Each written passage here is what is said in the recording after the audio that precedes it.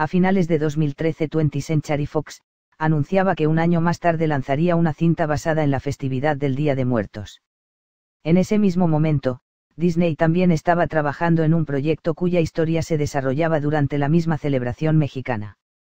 Los años han pasado, el libro de la vida, Book of Life, se estrenó, obtuvo un tibio recibimiento, obtuvo 100 millones de dólares de los 50 que costó, y ahora es el turno de Disney de demostrar que el Día de Muertos es una de las festividades que vale la pena que conozca el mundo entero. Durante su visita a la Ciudad de México, la productora de la película Coco, Darla K. Anderson y el guionista Adrián Molina hablaron con el Universal sobre el largo camino para retratar la tradición milenaria en México y si en algún punto sintieron competencia por el libro de la vida.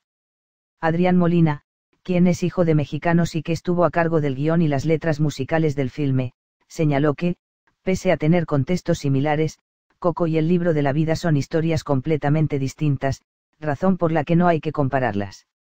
Son historias muy distintas, es cierto que se desarrollan en el mismo espacio, territorio, pero esta historia es única, habla del amor de familia y de cómo perseguir ese sueño a pesar de que nadie quiera apoyarte, además quisimos que también el resto del mundo conecte con esta celebración mexicana tan maravillosa.